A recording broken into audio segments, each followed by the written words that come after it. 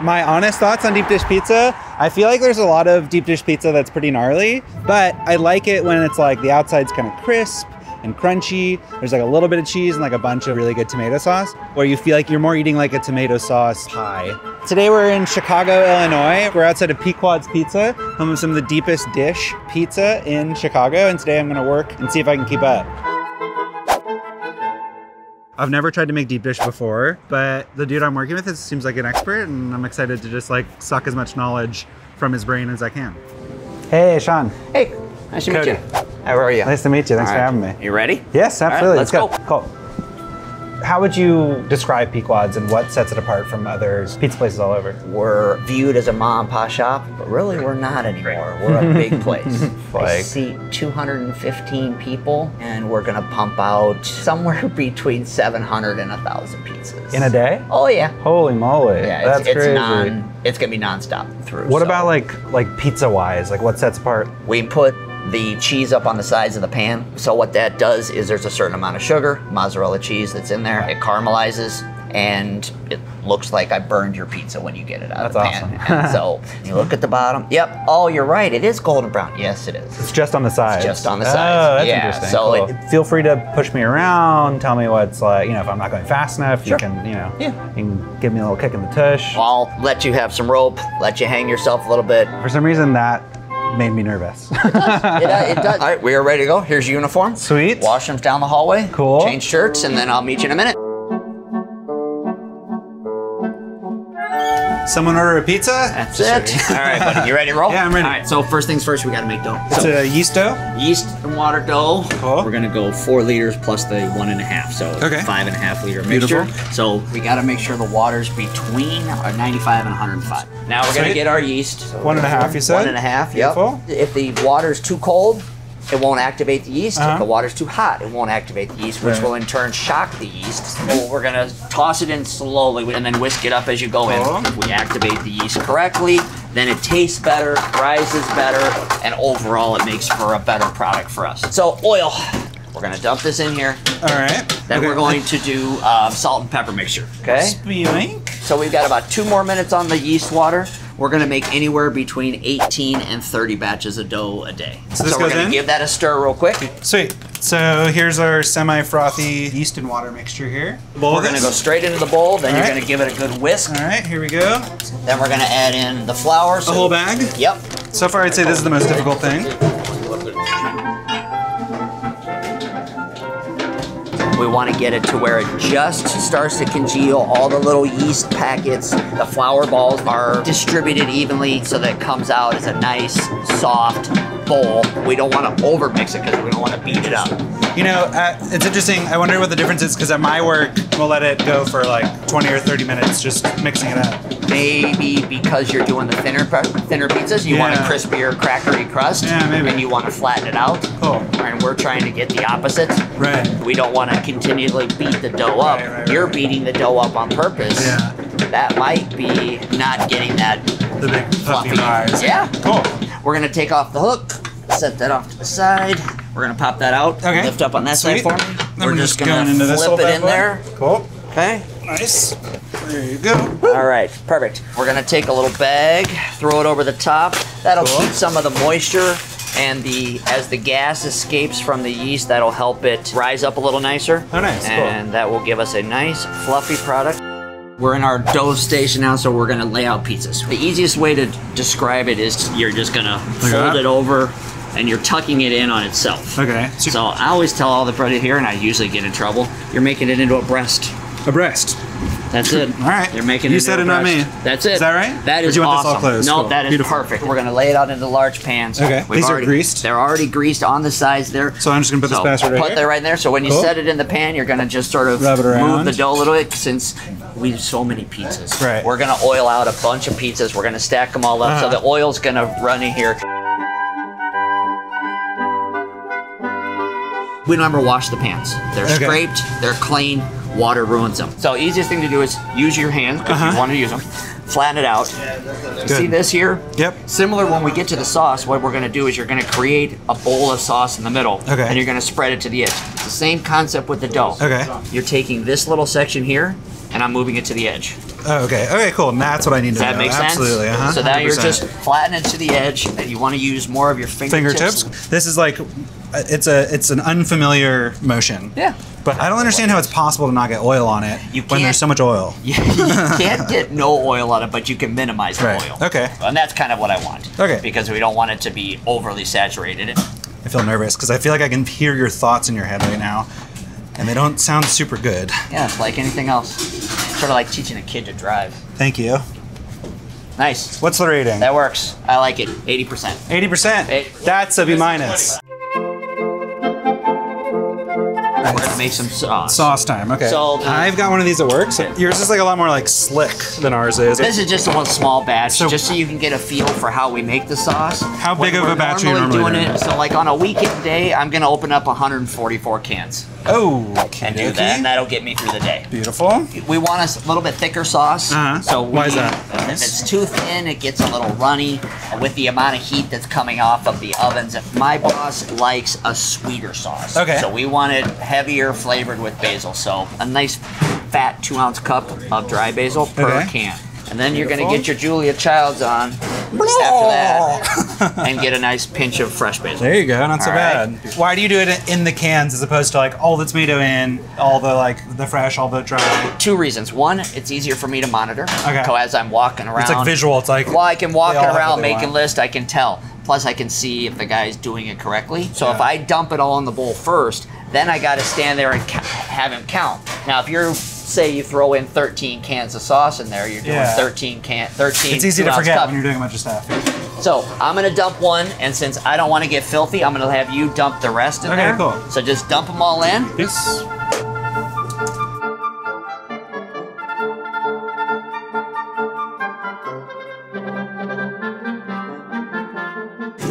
Pretty satisfying. Scoop it out. All right. That's nice and easy. I'll be right back. Oh yeah.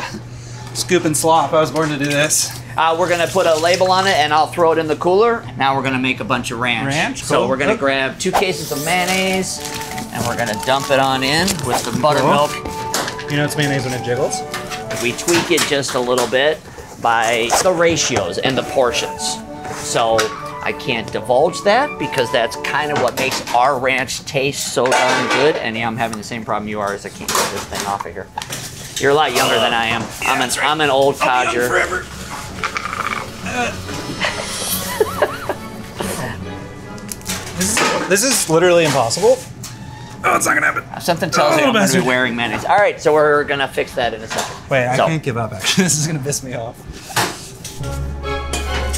It's just like it's too big for a normal hand. I would say is the problem. Is one of the problems. Little piece of crap. Show you who's boss. See? Yeah, there you there go. it is. Don't ever talk to me like that again. All right. So, and this is fairly self-explanatory. Oh yeah. Dump, I'm familiar scrape, with this. dump, scrape. Just How much ranch are people guzzling here? We're gonna make this particular thing that we're doing here with the eight gallons of mayonnaise three times a week. Friday, Saturday, roughly, we're gonna do about almost a thousand cups of ranch. Holy crap. We're gonna Bunch of ranch freaks in Chicago. They are ranch freaks in Chicago, and my ranch is really good. It is a thicker and tastier, more tangy, little spicier ranch. I will be honest, I'm sweating. Yes, we're gonna add all the buttermilk in there. I think one thing I learned in restaurants is trying to focus on doing one activity over and over again, right? Like instead of opening, pouring, opening, pouring, you kind of just like knock Add like one. tasks. And then the secret ingredient. this is the good stuff. That's the good stuff. this is what makes the world go That's what round. Is it time to mix? It's time to mix. Let's do it. Probably the most ranch I've ever been around. Moment of truth. De Young. Not so bad. I could just want like a bunch of chicken fingers. Second rise is complete. We're gonna start assembling some pizzas now. Sweet. So nice little order there. All right, Nice. perfect. So Small, all let's cheese, grab, extra cheese, Cody, why don't you grab me two little personals? Two little personal. Yep. So cheese-wise, like a deck of cards. Awesome. So you're gonna go long ways. Overlap. Overlap it just a little bit, and you want the cheese to go right up to the edge. Be covered. Lovely. You're so fast. You're a blackjack player? Uh, no, I, I like to keep my money. So this is kind of the trademark here, right? It's like the cheese. The cheese burns up on the side of the Yeah. pan. So the sauce for us is each pizza is gonna get a Big ass like ladle. a eh, it's not a big ass ladle. So this one here, the medium is gonna get just shy of a full ladle, Okay. and the personals will get a little like a medium dollop. So you should look at it, and you should not be able to tell if it's light, extra, or medium. Looks right in the middle. I'm gonna drag, spread, drag, spread, drag, spread. And why this? Oh wow. Oh yeah. Oh, go get it. Okay. Come on, Mister. Look at that. That was cool. Okay, so you're taking literally only using the bottom third of this ladle.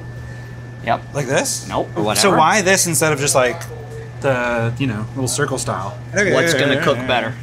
Well, yeah, probably this one, huh? Yeah. Okay. This one here is extra cheese and pepperoni. Great, So I'm gonna so give you that one. beautiful. So the pepperoni's pretty simple. Yeah. Cover the pizza. Cover it. One single layer and cover the pizza. Well, those ones we take them out. I use the poker reference again, sort of like poker chips. Okay. I will usually build down the middle. Oh, okay. And if they get two on there and it overlaps a little bit, it's fine. All right. This was one of those ones where I was telling you quantity over quality. We're gonna season the pizza Okay. with a little Romano. Okay. So if you shake that on the side like this, like a like a wheel, Hmm. Okay. you create airflow and it comes out faster. And another shake of oregano Cool. sort of ties and blends the flavors together. Love that. looks great. Wonderful. Do I pass Throw the this ticket way? on there. Ticket's there. And that goes in the oven. Thank you. All right, he'll throw that in. He's going to time it about 18 minutes or so, and then we're good to go. Now, sausage is a little bit, can be a little tricky for everybody to learn. The object of this is to make it into a patty. Yeah. You got to get this off of here Uh huh. onto your pizza about as thick as my pinky. Can you slow that down? Nope. no. Okay, so what you want to do, and I'm pinching it off, and then I'm flicking it down.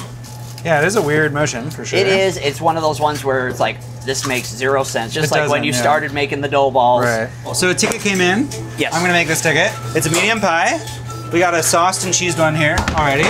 So half of this is gonna get pepperoni. Yep. And then Yeah. we're gonna check your visual skills in a second here. Oh shit. Exact- Don't do it, don't do it. I have to. We got to make sure before we build it Yeah, you're right. You're right. The pepperoni is actually incredibly frustrating. Wait till the summertime and it's 100 It's so degrees plus in here, and it's like I yeah. feel like I need to detach from the feeling of wanting to get them all separate and just kind of go for it. slide it on down Cool.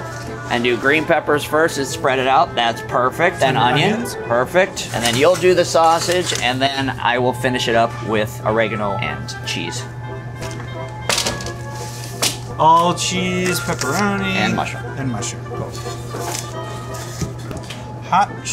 Okay, No, cool. You're fine. Take your time. If it goes in beautiful, it comes out beautiful. That's if it nice. goes I in like like shit, it's gonna come out like shit. All yeah, right. we just want to make sure that we build it better in here because this is also building that caramelized edge, which Right. we need to have solid. This part is surprisingly hard for me. I It takes a little it- time. Yeah. Big ladle on all these three. Oh, splash. That's okay. Well, it's got to go up higher. We want to get the cheese all the way up. You'll drag, slide, drag, slide. Yeah, that's it. Nice. There you go. You proud? Yes, very. I'm surprised. That takes a lot of people a long time. I feel okay. That looks great. Woo! Awesome.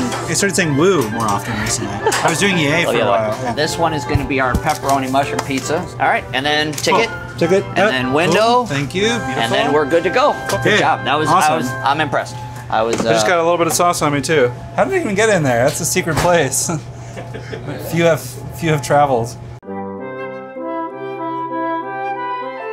So we've already built some pies. Obviously these aren't the ones we made, but we're gonna get these out. Oh, yeah. They're in there probably almost 20-ish minutes or so. So object is to grab them with your gripper on your left hand. All right, okay. And you're gonna see there's a little bit of an edge here. Yeah. So I want you to get started on the edge. This is one of the harder parts. That, so you're basically trimming Yeah. the caramelized cheese off the edge, edging the pan basically. Just edging. edging. So then you're going to cut that one for here. So I'm gonna do this one, you're gonna do that one. All right. So then you're gonna take this here, you're gonna lock it in place, Uh-huh. and you're gonna start on the top middle. You're gonna cut this in eight, so Okay. four.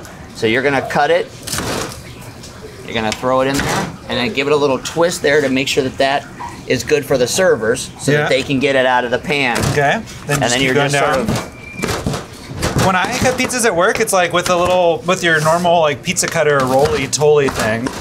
There's no uh this is definitely weird, but I like it. It's the. I think the the most confusing part is the left hand, like the clumpers. That clumpers takes the most natural. amount of time to Yeah. get the dexterity and the rhythm on that. I feel like a monster. All right, Nice, and then we do the think fun part. Hit the bell. Get this shit out of my way. Got it. Get the f- out of here. Order up. Come on. All right. Not the vibe or no? That's Not it. really. Cool. Yeah, except they'll be quite perturbed. They come Yeah, that makes sense. but Sorry, sorry, sorry, sorry, sorry. That was All right. fucked up. And so the object is we're gonna open the door. We're Uh-huh. gonna take out that pan pizza. We want to get it out and on the table. Uh-huh. Then we're gonna edge it. Then we're gonna flip our spatula over. Let's open it up. Up Let's see where you're at. All right, so cool. grab the two little personals first. Little boys. These are a little more tricky. right. Gotta edge it. They take a little bit more practice. And I think you're destroying this Uh, customer's I know. product. Sorry. Oh, I, f- I feel it. I feel it. It's mine. It's mine. Got yes. it. There. All right. Get in there.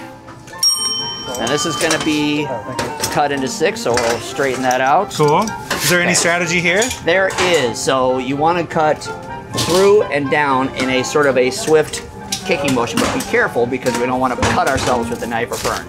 There you Ooh, go. not quite in half. But what are you okay. do? So now that one's okay, but as you can see here, the reason it fell apart, Uh huh. too slow. Oh, you do. Okay. Got You gotta, if you go through it, you will have less of that. Just I'm gonna like, go like through. Oh shit. And then through. Yep. Fucker. That's okay. Bastard. That was pretty good though. All right. All right, then we'll tidy it up a little bit. Beautiful. We're gonna give the customers all those Oh yeah, the lovely goo. sausage Come and on, goo. baby. All right. And this goes down. Reflective side down. Beautiful. Tuck that on the front, tuck that on the back, so that it stays nice and hot for the customer when they get it as long as possible. And then, then it goes on top of the oven, Cool. hit the bell, For it. and you are good. Cool. And then we give this man a job. How do you think that I did? Honestly. I wish all of them did this well. That's really, yes. But it's Oh, also kind of a bittersweet because there's no chance you're going to work for me. So, I'm so sorry. yeah. but- It was very exciting. Yes. Like at- first, I was like a little hesitant, but then Yeah. like once we were actually like diving into the pizza in, pies and we were like taking them out and crusting them off, and it was It's it was a blast. Do you think that you would hypothetically hire me for this job? hypothetically, no, I would actually hire you if you wanted to work for me. Oh, yay! There we go. That's amazing. It was a pleasure. Thank you so much for having me. anytime. Yeah. So I know you have your way of doing a, Yeah. a thin crust, but maybe we can do it the way that I was. I learned how to do it, just to show. Yeah. So you can do it with me. So this was the Italian restaurant, the, and I'm not gonna ruin anybody's day by trying to sing. So Why not? Come on. no way. That's exactly right. I need the uh, checkered shirt. Ah.